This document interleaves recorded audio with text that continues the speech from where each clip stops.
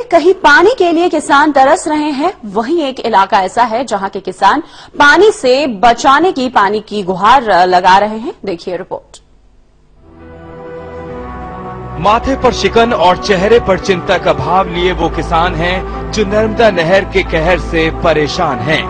कुछ दिन पहले तक जो किसान नहर में पानी की मांग के लिए सड़क पर उतरने की सोच रहे थे, वही अब पानी से बचाने के लिए दर दर की ठोकरें खा रहे हैं।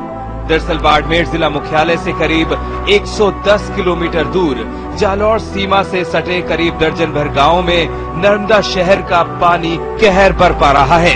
किसानों की माने तो ये हालत नहर में क्षमता से ज़्यादा पानी छोड़े जाने की वजह से हुई है।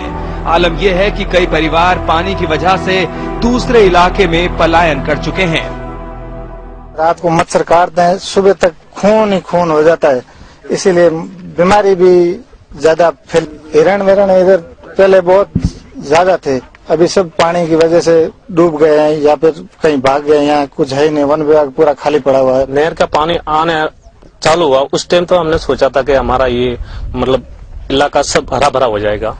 आज की टाइम में ऐसी प्रॉब्लम है कि ये पानी देख के लोग बिल्कुल मतलब एकदम त्रस्त गए हैं, क्योंकि पानी ये अपने मच्छर है बाकी के भिंडूर वगैरह सब मतलब यहाँ लोगों को खेती करने में इतनी परेशानी है मत पूछो बात।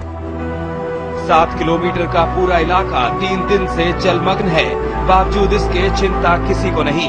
प्रशासन बार बार आश्वासन दे रहा है लेकिन कार्रवाई नहीं हो रही। और तो और इस खारे पानी की वजह से ज़मीन का उपजाऊपन भी खत्म हो रहा है।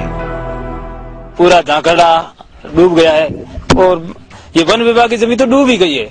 परंतु आसपास की जो डाणियाँ थी नी, वो भी डूब गई है और यहाँ पर लोगों ने यहाँ पर घर तो डूब गई। अग्नि जलाने के लिए दूर से दूर ला करके वो मिट्टी डाल करके लोगों को रोटी करनी पड़ रही है। और इसकी वजह से कई लोग तो यहाँ से प्लान कर चुके हैं। जिस नर्मदा के भरोसे इस इलाके के किसान अपनी खुशहाल ज़िंदगी की कामना करते हैं, वही नर्मदा अब इनका नाश कर रही है। हालाँकि इसके पीछे अधिकारियों की लापरवाही साफ़ है। क्योंकि अगर पानी नियंत्रित मात्रा में छोड़ा गया होता तो शायद लोगों का घर बर्बाद ना होता। शिव प्रकाश सोनी, बाड़मेर, समय राजस्थान।